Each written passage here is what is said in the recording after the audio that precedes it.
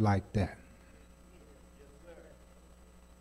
You know, in this past week, I was having lunch with the pastor of um, Lake Arlington Baptist Church, and we got to talking about different denominations and different religions and how in a city we, we can work together on some things because we are citizens of the same city. And, and we all want our city to be as nice a city as possible for all of us to have the highest quality of life that we can all have. And and as we dis- we talked about it, and he said, you know, but Kennedy, we got to make sure that we on this page with the one true God, that that we serve the one true God.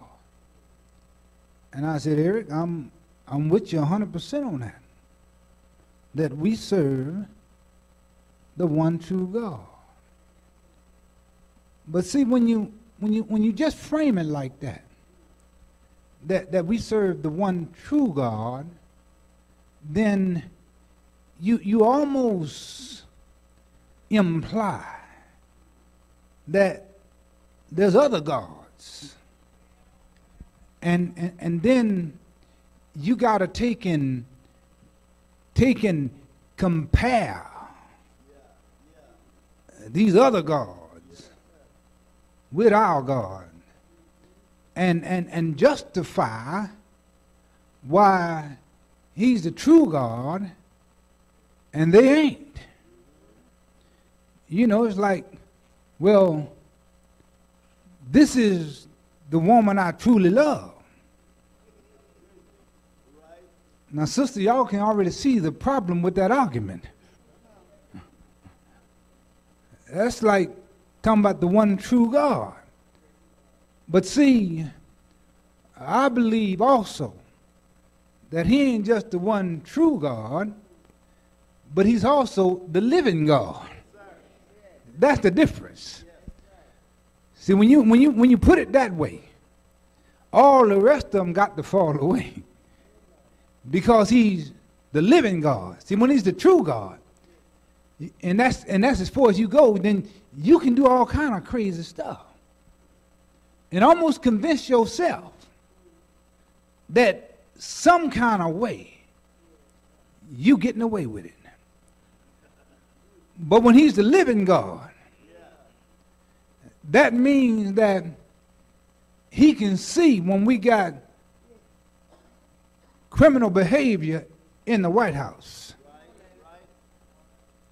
when he's the living God, he can see mothers and children being, wrapped, being ripped away from their mother's arm down on the border when he's the living God. He can see the stranger and the immigrant being mistreated within our land when he's the living God.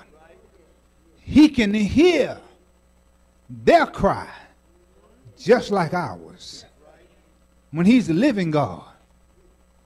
And so when we look at this text, we see the context of not just the true God, but we feel the presence of the living God.